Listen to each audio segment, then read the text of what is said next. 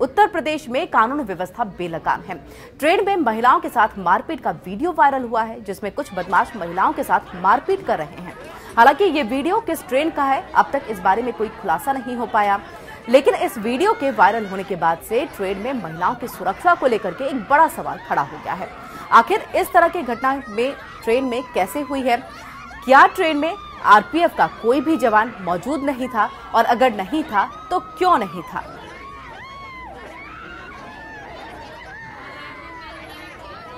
तो ये वीडियो जो वायरल हुआ है, जिसमें आप देख सकते हैं कि बदमाशों ने किस तरह से महिलाओं के साथ मारपीट की है और आरपीएफ का कोई भी जवान वहाँ पर मौजूद नहीं।